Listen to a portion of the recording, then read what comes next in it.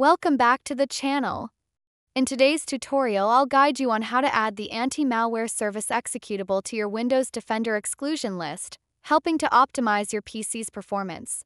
Step 1. Open Windows Security first. Open the search menu and type Windows Security. Select the first result that appears.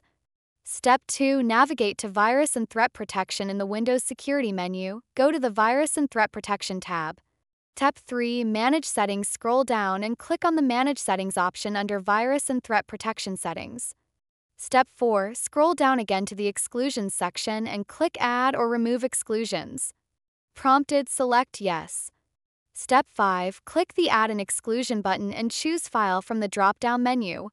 Step 6 Locate the file, navigate to the C drive, double click on Program Files, and then open the Windows Defender folder.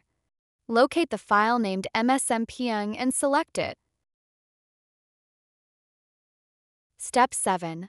Finalize click the Open button to confirm. Finally, restart your PC to apply the changes.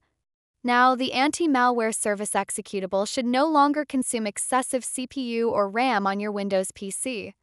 If you have any questions about this process, feel free to leave a comment below.